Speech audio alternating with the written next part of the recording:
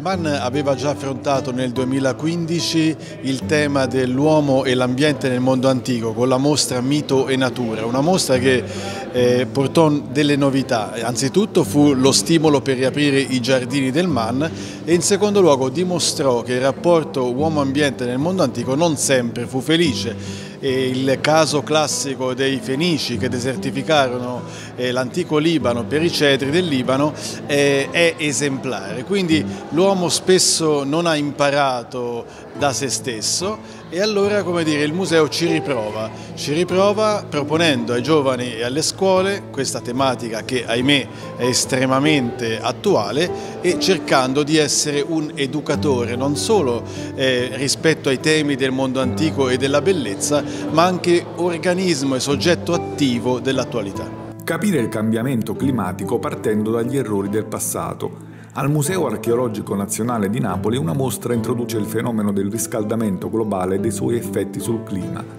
Nel percorso espositivo fotografie e filmati del National Geographic come contributo per creare ambienti immersivi con esperienze olfattive e sensoriali, con quattro testimonianze degli esseri che soffrono per i mutamenti dell'habitat.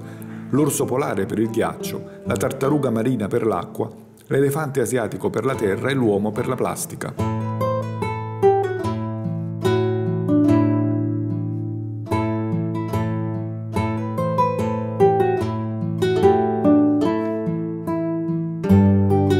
Tema che sta attraversando le coscienze degli abitanti del pianeta e ognuno deve fare la sua parte anche scuotendosi e guardando le immagini si comprende quanto l'uomo negli ultimi anni ha distrutto e quanto lavoro si deve fare per evitare la dissoluzione del pianeta. Noi ci crediamo e quindi anche nella nostra città in tanti sono impegnati, noi per primi e quindi